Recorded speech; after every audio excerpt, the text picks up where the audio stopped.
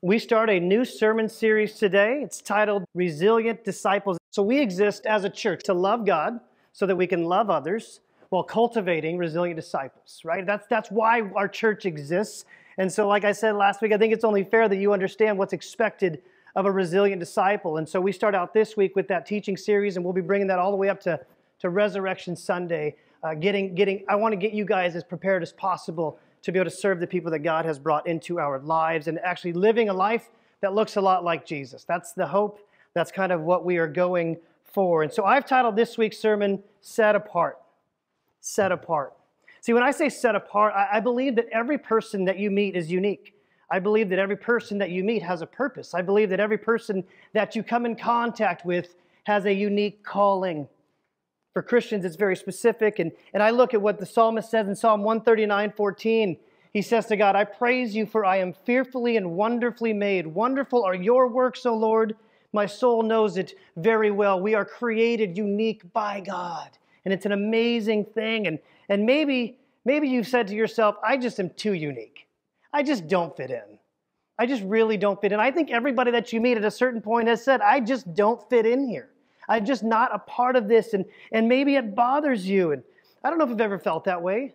Maybe when you were a student and you went to a new class and you're like, I'm not smart enough to be in this class. I just don't fit in here. I just don't belong here. Maybe, maybe you got a new job and, and you're doing some onboarding and, and you're trying to learn their systems and processes and you're like, I just don't fit in here. This is, I'm just not good enough to be here. I just don't understand what's needed. I just don't fit in here. Maybe, maybe you've moved. If, ever, if you've ever moved somewhere to a new city, to a new state, you're like, man, I just don't fit in here. I'm just, I don't know, my, these aren't my people.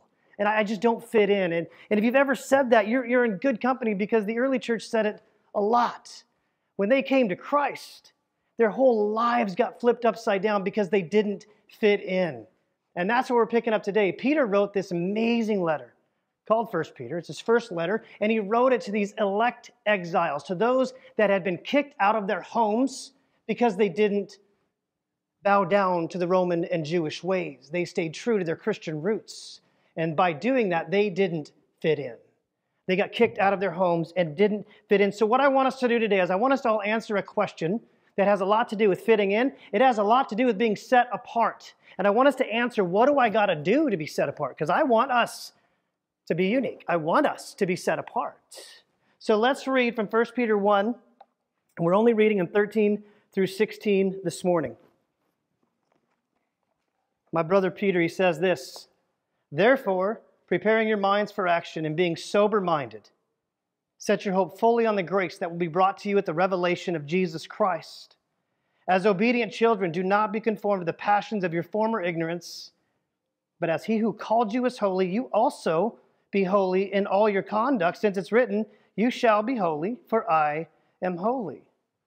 And so, Lord, we just pray over this amazing text that you've given us this morning. And, and God, I pray that you would supernaturally do what only you can do by, by opening our spiritual eyes and our spiritual ears to see and to hear what it is that you want to speak to us this morning through your Holy Spirit.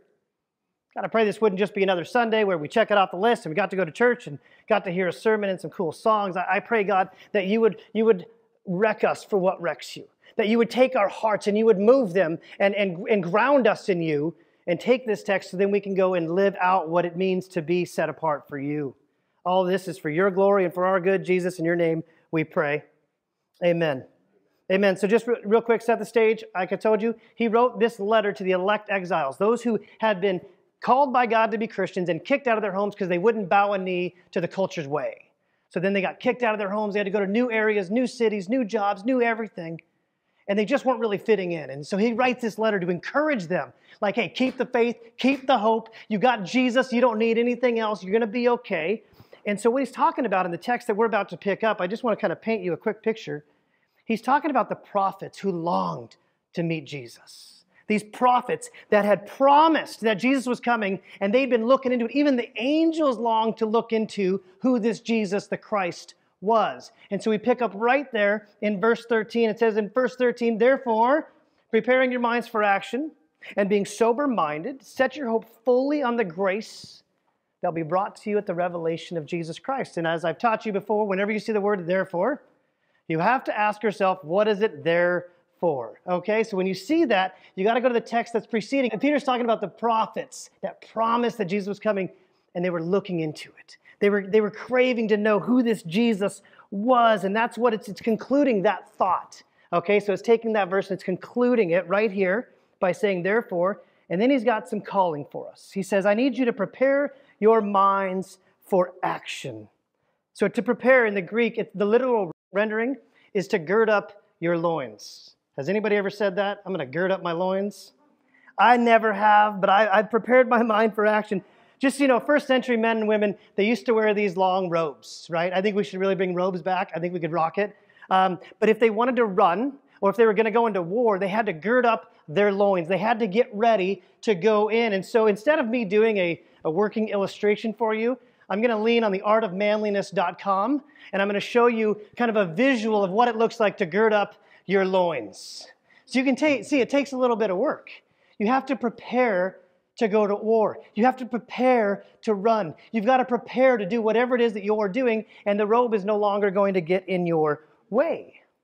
I'm reminded of Elijah. He's fleeing from Jezebel in 1 Kings 18. And the hand of the Lord was on Elijah, and he gathered up his garment and ran before Ahab to the entrance of Jezreel. He would have had to do this exact same thing put on his diaper and go run. He had to get ready to go. And this is kind of what it, this is what Jesus wants us to know today. We got to be getting our minds ready for what's coming. We got to get our minds ready for action. It doesn't just happen. You don't have a good marriage if you don't prepare, if you don't plan. So you want to live out this life for Christ as a resilient disciple. You got to prepare your mind for action to get ready for what God's about to do. Have you ever gone on vacation? You plan. Most of you, hopefully. Like you get your hotel, you get your flights, you figure out where you're to be, right? You plan for that. You don't just go on vacation. You get married. You're to get married. You get engaged. You got to plan, right? You got to put together what colors you want, the flowers and all that stuff. You've got to prepare for that. This is no different. You want to be a Christ follower? Start preparing for what's coming. Start preparing for action about what God is going to do. A resilient Christian invests, invest time preparing for what is coming. Basically just means pull your thoughts together. Pull your thoughts together. So to be a resilient disciple is to be very intentional. So I need us to answer this question. What do I got to do to be set apart? Prepare your minds to meet Jesus. And you do it on purpose. You're preparing your mind. It's not going to just happen. You got to prepare your mind and do it on purpose. You got to focus on what is important. You got to get excited about your faith and do it on purpose. So then I look at this text and I'm like, well, we got to prepare our minds. So then where's our minds at all day? If you're super honest, are you always thinking about the things of Jesus? Are you always preparing for glory and what's coming? Sometimes our minds go to the stock market or lack thereof, our bank account. Maybe your mind wanders off into your worries and everything that could go wrong. Maybe you find yourself thinking on and on about your kids or the broken relationships that you have, or this didn't work, or this was supposed to go this way and this didn't happen, and your mind just starts going, right? And, and all of a sudden you're just in, you're, you're way out of where you should be because your mind has not been taken captive and, and surrendered as unto Christ. We could think about things all day long. But what are we supposed to think about? We're supposed to prepare our minds. So, what are we supposed to think about? Well, I'm glad you asked because Paul tells us in his letter to the church of Philippi, Philippians 4 8, he says, I want you to think about these things, whatever's true.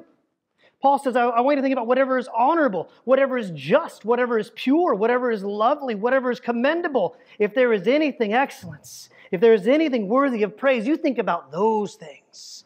That's where we put our minds, not on our problems, not on the storms in front of us, not on what's not going right for us, but we put our minds on the things of Jesus and we're preparing our minds for action. Preparing our minds to meet Jesus. And Peter goes one step further. He goes, Not only do you need to prepare your minds, he's like, but you got to be sober minded. You got to be self controlled, it means. It's a big deal to Jesus. It's a big deal to Peter that a resilient disciple is sober minded, is self controlled, clear mind, sound judgment. Why? Why is this such a big deal, Jesus? Why is this such a big deal, Peter? Well, I think, first of all, it looks a lot like Jesus to be self controlled. It's a fruit of the Spirit. We know that, right? And it looks a lot like Jesus when we don't overindulge in anything. It just looks a lot like Jesus And I think second is, is when we're living a self-controlled life, we're literally living our lives in anticipation of Jesus Christ coming back. I don't, I don't ever want to meet Jesus if I'm not in the right mind. You know, my cousin got killed at the age of like 23 in a drunk driving accident. And his mom said, I can't believe he's got to meet his maker while he's drunk. I don't ever want to be out of my own mind when I go meet Jesus.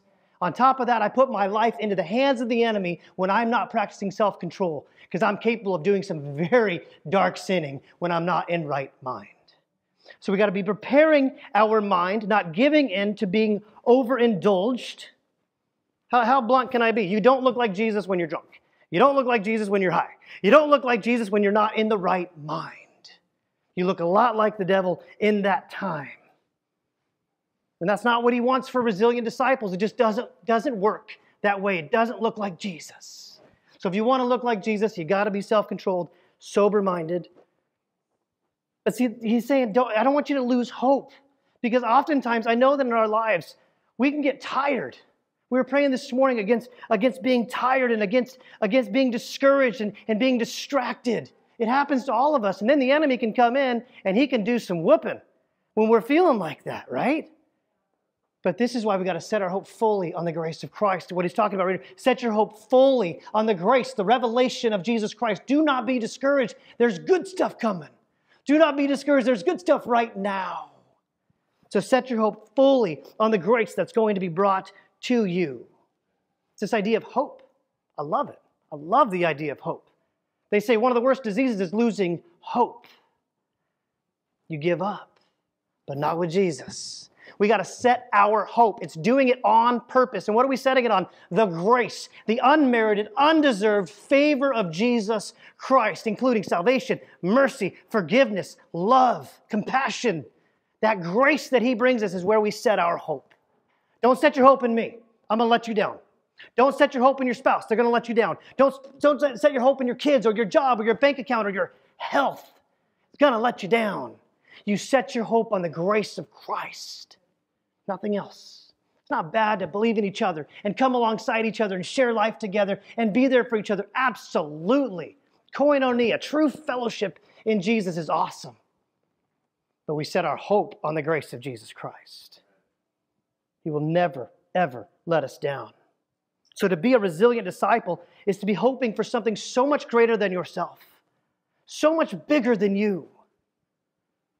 So, I want to answer this question what do I got to do to be set apart? What do I got to do to be unique? And I'll tell you right now, it's looking for the glory of God. Not your glory, not what you can put together, but you're looking and you're living for His glory now and the glory that's going to be revealed when Jesus comes back for His kids, which He is going to. If you have ever said, I just, I just don't fit in, then I want to make sure that you just don't fit in for the right reasons. Not because you are overindulging, not because you are this or this or this. No, no. I want you to not fit in because you love Jesus so much. To be set apart looks a lot like Christ. Looks a lot like the early church who went through incredible persecution and exile because they love Jesus.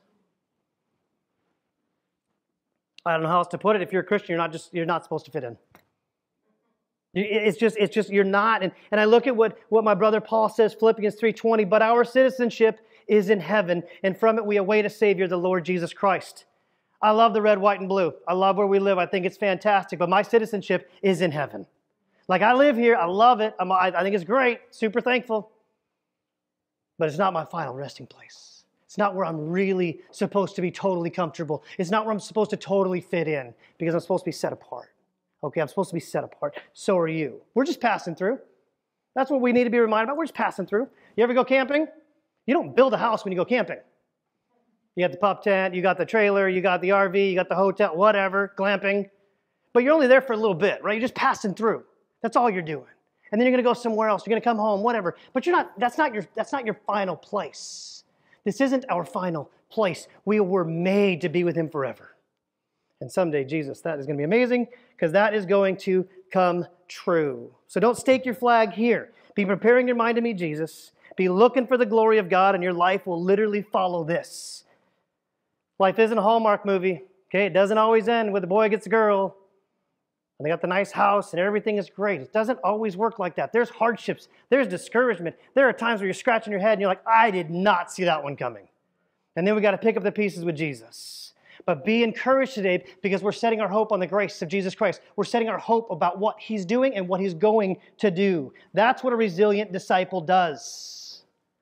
Set your hope fully on the grace. Because of the revelation of Jesus Christ, he's coming back. He's coming back. No more tears, no more pain, no more brokenness, no more sickness. He's coming back for his kids. Are you one of his kids? So, Peter, he gives us this, this total beautiful picture of grace that we're being offered right now. This undeserved love, this undeserved gift right now, getting us ready. And, but what he wants to do he wants us, Peter wants to give us a warning. He wants to give us a warning and then he's going to give us an encouragement. So he says in 14, as obedient children, do not be conformed to the passions of your former ignorance. So he's building on this idea of hope. He's building on this idea of being set apart. And he says, he says, but you got to be obedient children. Can I get a raise of hands? If any, does anybody just love a disobedient kid? Isn't that the best? Little nasty kid running around, doesn't listen to his mom and dad. Isn't that awesome? Nobody's raising their hand. Me neither. Okay? And so we're not supposed to be like that either because our Father in heaven, and that's who we're supposed to be obedient to. We don't get to be nasty little sinners. We got to be obedient children.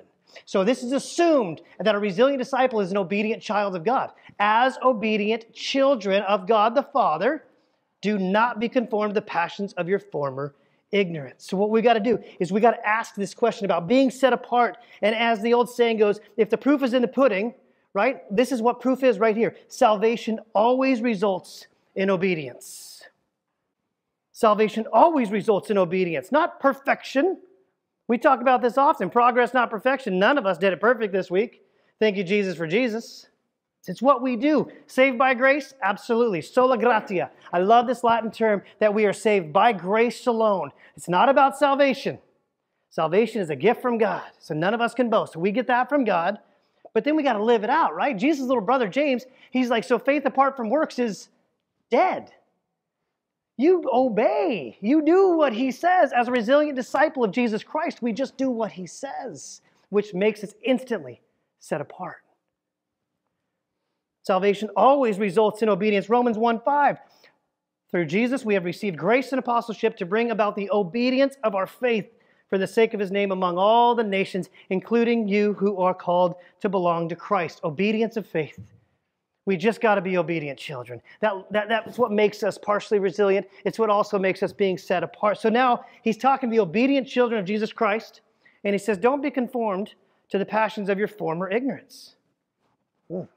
Okay, okay, what do you mean, Peter? Don't be conformed. What, is, what does this mean? It means to be fashioned like something to be modeled after something. It's this idea that you're, you're, being molded by external and fleeting things. You're being molded not by Jesus, but by other things, by the culture around you, by your friend group. You average out with the five people you spend the most time with, you're averaging out, you're being fashioned. So be very careful about who's influencing your life. Is it Jesus or is it your homie? Okay, so we got to be very careful about what is forming us. And he says, do not be conformed. Instead, you're supposed to be set apart this idea that we reject the ways of the world and we live in and we walk in obedience. It's just awesome.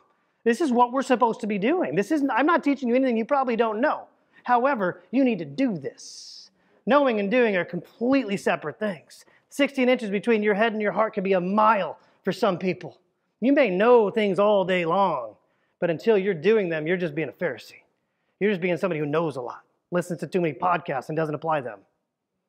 Okay? So we got to be living this out, not being conformed to the world around us, to these passions, the, the passions of our former ignorance. It's our former lusts, is what this means. It's, it's the strong, sinful desires that are not from the Lord, that we gave into for years before we surrendered our life to Christ. I believe that God knew how much we needed to hear this because we used to chase whatever we wanted my way, my kingdom, my pleasures, my everything, my, my, my, my, my. That's not a resilient disciple. That's your former ignorance. That's before you knew Jesus Christ. That's before He changed your heart into His and, and drew you into Him. God knows us. He knows that we need to be reminded because if we're really honest with each other, we could be tempted to go back to who we used to be. We may look back on our past with some rose colored glasses, forgetting about all the pain that it caused other people.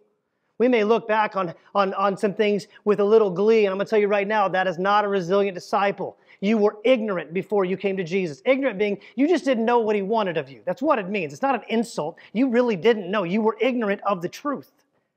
He says, so don't go back. You've been saved from that. You've been redeemed from that. Don't go back to that.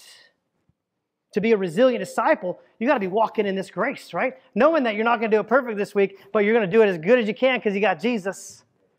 So we just don't go back because now our eyes have been opened. We know what truth is. We understand Jesus' heart for us, and we know why he doesn't want us chasing all that other stuff. Do not be conformed. And so we got to answer this question what do I got to do to be set apart? We chase Jesus, not sin. Do you know why? Because chasing Jesus leads to life, it leads to freedom, it leads to encouragement, it leads to holiness, it leads to wholeness. It's amazing. What does sin lead to? Death. Right? Romans 6 23, for the wages of sin is death, but the free gift of God is eternal life, hallelujah, in Christ Jesus our Lord. Chase Jesus, not sin. Peter tells us right now stop chasing after your own sinful desires. Instead, as resilient disciples, just be chasing Jesus this, and just receive this unbelievable gift of Christ.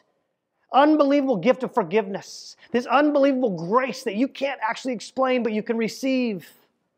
Chase that. Don't go back to what you used to love before you loved Him. This is why we gird up the loins of our mind. We gird up and we get prepared because if you fail to plan, you can plan to fail. Okay? So we need to know going into situations. That used to be a trigger for me. I used to do this. I remember back in the day, that's what I used to do. So I'm going to go into that situation, and guess what? I'm, my, my, my mind's prepared. I've girded up my loins, right? I got my diaper on and I am ready to run. I'm ready to fight. But you got to be prepared. Do not be conformed to the former ignorance, to the things that you used to do before you loved Jesus. And you know what I love about this? He's not asking any of us to do it completely perfect. He knows that none of us are going to do it completely perfect. So, what are we going to do? We, we would still be chasing sin if it wasn't for the grace of Christ. Every one of us would be chasing after sin if it wasn't for the grace of Christ. So, can we just find some deep gratitude for what He's done? Find some deep gratitude for Him pulling us out of that miry pit and, and setting us on firm rock, on the firm foundation of Jesus Christ. And that also means that we're going to be resilient and not go back. He doesn't want us to go back. He died and shed His own blood so that we did not have to go back, but we could be free in Jesus Christ. His grace changed everything. His grace changed everything. There's a lot of us sitting here today that used to walk in quite a bit of ignorance. I won't point fingers at you or myself, but every one of us did it. You know, maybe when you, you, were, you were younger, you used to steal things. Then you met Jesus, and you're like, I'm not supposed to do that anymore. Maybe you used to have sex with people who weren't your wife or your husband, and you're like, I'm not supposed to do that anymore. Maybe you used to, to get in fights all the time, and you were a brawler, and you're like, then I met Jesus, and I, I, I don't get to do that anymore cheated, selfish, lied, tried to fit in. We can go, we can keep going all day long about who we used to be, but that's no longer who we are. So we don't get to go back to that former ignorance. Do you know why? Paul tells in 2 Corinthians 5:17, for anyone who is in Christ is a new creation. The old has gone away, behold, the new has come.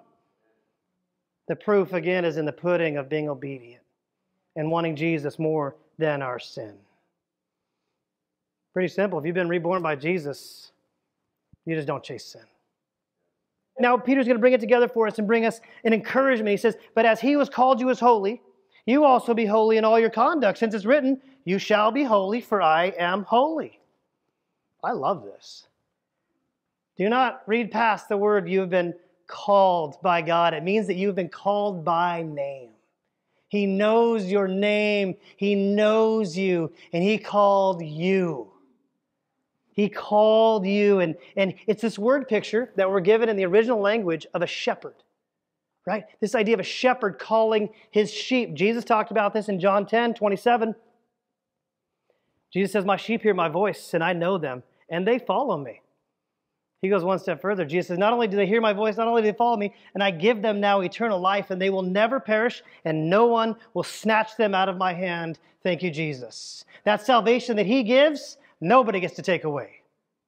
Nobody gets to snatch them out of Jesus' hand because you're called by name.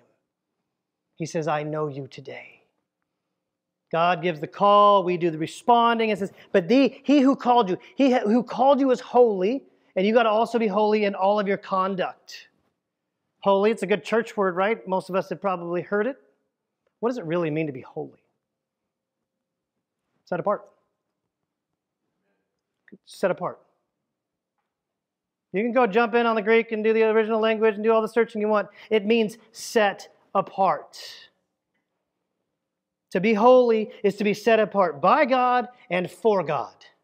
God set apart from every other God. God is set apart from every other person. God is set apart from every other thing. God is holy, He's pure, He's sinless, He's unbelievable. He's completely set apart. And we're being called to that same thing. How am I supposed to do that? Glad you asked. We're going to unpack this. As a resilient disciple, we're being called to this same set apartness, if you will. To be a resilient disciple of Jesus Christ means that you've been chosen by God, you've been set apart by God to be resilient. You've been chosen by God, you've been set apart by God to reflect Him. You've been chosen by God, you've been set apart by God to live for Him. Well, let's go. That's all He's asking. He says, Be holy as I am holy. God is like, I'm completely set apart. I need you to not fit in. I need you to live your life in such a way that people aren't surprised when they find out that you go to church. I need you to live your life in such a way that what you're watching at home, what you're watching on the online, what you're doing on the socials, how you treat your kids, how you treat your spouse, how you treat your plumber, how you do everything needs to be set apart. It needs to be holy. It needs to look like Jesus. That's what resilient disciples do. God called his people to be holy because he is the one that is holy. Scholars always argue, scholars argue all the time, obviously, but they argue over what is the greatest attribute of God? Is it his immutability? Is it his power? Is it his sovereignty? Is it his providence? Scholars often go back to the fact that God's greatest attribute, his greatest character, is that he's holy. Because it's also an adjective, right? They argue that this is one of his greatest attributes. And that's what he's given to us, and he's calling us to. He's like, I need this to be one of your greatest attributes. God calls his people out of a world of sin, from loving sin to hating our sin to being this resilient disciple so that we can answer this question what do I got to do to be set apart? You got to love God more than your sin. Is there any sin in your life that you're just really not willing to give up? You're like, yeah, not that big of a deal. Yeah, well, you know what? That not big of a deal. Put Jesus on the cross. So yeah, it is a big deal. Is there anything in there that, that just shouldn't be in there that you've been tolerating, that you've compartmentalized or compared yourself to somebody else? Well, I'm not nearly as bad as that guy. Pretty easy for us to do, isn't it? That's not being holy. That's not being set apart. That's us placating, us blaming, blame shifting. If you want to be a resilient disciple, you got to do what the author of Hebrews says let us lay aside every weight and sin which clings so closely, and let us run with endurance the race that is set before us, keeping our eyes on the author and the perfecter of our faith, who for the joy that was set before him endured the shame of the cross and is now seated at the right hand of God the Father. Get rid of the sin, it's holding you back. It's bringing death, not life. Chase after Jesus, we're being told today. That's what resilient disciples do. This is his expectations for us. This is kind of Christianity 101. It really is. I don't think he's asking us anything that we can't actually chase after. It all starts by obeying his commands be holy in all of your conduct, in everything that you do. Be holy in all of your conduct because you have a responsibility to live out your faith. You have a responsibility because you've been chosen by Christ, because you've been set apart. Ephesians 1 4 says, We should be holy and without blame before Him. Again, this isn't a Sunday thing. that we get to pull off for a couple of hours and fool our neighbors. This is lifestyle Christianity. This is resilient discipleship. I'll just put it as simple as possible. If you're doing a quick inventory of your life, doing a quick inventory check, if there's anything in your life that cannot glorify God, stop doing it. I don't know how else to put it. Anything. It doesn't matter what it is. You just you got to stop doing it because it's sin and it's not what He wants for you. So if the Holy Spirit's kind of giving you a check on that, if the Holy Spirit's like, hey, remember we've been talking about this for a long time, it's got to go. And maybe today is that day for you where you can finally be freed of it. You shall be holy, for I am holy. God's purity, He wants us to walk in it. God's perfection, He honestly wants us to walk in it. God's separated, God being perfect, He wants us to walk in this. We're never going to be God. Don't at all think that's what I'm saying. But we got to start acting a lot more like Him, which means that we live a unique, set apart life. God says today to each and every one of us, I, I am your Father. I want you to be holy because I'm holy. Now start acting like my son Jesus. Get rid of anything that doesn't look like him and be set apart as this idea of a, of a resilient disciple. So we, we got to, again, answer this question what do I got to do to be set apart? I, I think Peter set the table for us perfectly, right? It's about the mind. It's about planning. It's about walking in the confidence, the humble confidence of Jesus Christ. It's getting rid of things that don't look like Him chasing Jesus, not our sin. He, he just laid it out for us. We're being called to obedience, we're being called to holiness. To be a resilient disciple, this is 101. You obey. You obey. For those of you that are Christians, you know as well as I do, we just, we're just not made for this world. Square peg in a round hole, it often feels like for me. It's supposed to be that way take comfort that they hated him first. They hated Jesus first. So they're going to hate you. You're not supposed to fit in. So, this is how we're called to live our lives. We're supposed to take the gospel of Jesus Christ, internalize it, and then show it, share it, give it. I just think about the fact that every one of you in here and those that are going to listen online, I just want to be in heaven with them. I, I literally I look at all, I want to be in heaven with each and every one of you. Every one of you. And who's that for? That's for God's kids. Those are for those that have surrendered their life to the gospel message, to this idea that Jesus Christ came and he, and he lived a sinless life for 33 years. He didn't do one thing wrong, he didn't even think anything bad. Can you imagine that? You don't even think about that. You don't prejudge somebody or typecast them. He didn't even do that.